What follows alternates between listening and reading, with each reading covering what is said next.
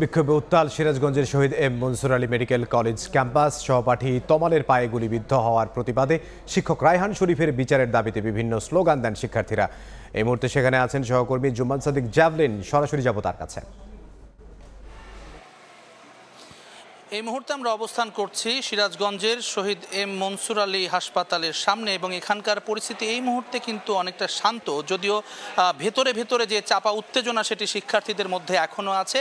আজকে সকালকার কথা যদি আপনাকে বলি, সকালে প্রায় এক ঘণ্টা সময় কিন্তু এই শিক্ষার্থীরা, অর্থাৎ প্রায় সাড়ে এগারোটা থেকে সাড়ে বারোটা পর্যন্ত সিরাজগঞ্জ থেকে হাটিকুমরুলের যে আঞ্চলিক সড়কটি আছে সেটি অবরোধ করেছিল। তাদের দাবি সে একটি, যেই তৃতীয় বর্ষে তাদের যে সহপাঠী রয়েছে সেই তমাল গুলিবিদ্ধ হয়েছেন পায়ে।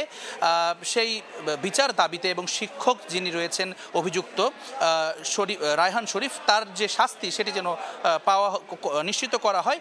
এই কারণে কিন্তু তারা আজকে এই সড়কটি অবরোধ করেছিলেন। প্রায় এক ঘণ্টার মতো অবরুদ্ধ অবস্থায় ছিল এবং যানজটের সৃষ্টি হয়েছে, জনচলাচলের সমস্যা সৃষ্টি হয়েছে এবং পুলিশ এবং যে মেডিকেল কলেজ প্রশাসন রয়েছে তাদের সঙ্গে মধ্যস্থতায় কিন্তু এই বিষয়টি তাদেরকে বুঝিয়ে যে শিক্ষার্থীরা রয়েছেন আন্দোলনকারী, তাদের সঙ্গে একাত্মতা ঘোষণা করেই কিন্তু তাদেরকে বুঝিয়ে ক্যাম্পাসে ফেরত নিয়ে আসা হয়েছে। এর মধ্যে কিন্তু বেলা এগারোটায় আমরা দেখেছি আসলে যে তিন সদস্য বিশিষ্ট যে তদন্ত কমিটি গঠন করা হয়েছে মন্ত্রণালয়ের পক্ষ থেকে স্বাস্থ্য এবং স্বাস্থ্য ও শিক্ষা মন্ত্রণালয়ের পক্ষ থেকে এটি অধিদপ্তরের যিনি অতিরিক্ত মহাপরিচালক আহ, বাইজিদ খুরশিদ রিয়াজ তিনি এই প্রধান রয়েছেন এই কমিটিতে। এছাড়াও দুজন সদস্য যারা রয়েছেন তাদের আমরা দেখেছি আসলে হাসপাতাল প্রাঙ্গণে এসে প্রথমেই তারা যেটি করেছেন যেই তমাল যিনি গুলিবিদ্ধ হয়েছেন সেই শিক্ষার্থীর কাছে তিনি গিয়েছেন এবং সেই কেবিনে দীর্ঘক্ষণ কিন্তু প্রায় আধা ঘণ্টার উপরের সময় শিক্ষার্থীর সঙ্গে কথা বলেছেন। শিক্ষার্থীর মা বাবা ছিলেন সেখানে, তাদের সঙ্গে কথা বলেছেন, তাদেরকে আশ্বস্ত করেছেন এবং এই তদন্ত কমিটিতে একজন যিনি